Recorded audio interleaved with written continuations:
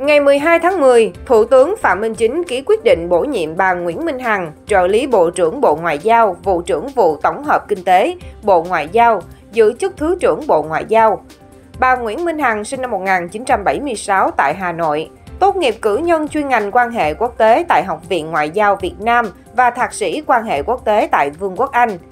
Tân Thứ trưởng Bộ Ngoại giao Nguyễn Minh Hằng bắt đầu sự nghiệp ngoại giao năm 2000 và đã trải qua nhiều vị trí công tác gắn với quá trình hội nhập quốc tế, công tác ngoại giao đa phương, ngoại giao kinh tế phục vụ phát triển đất nước.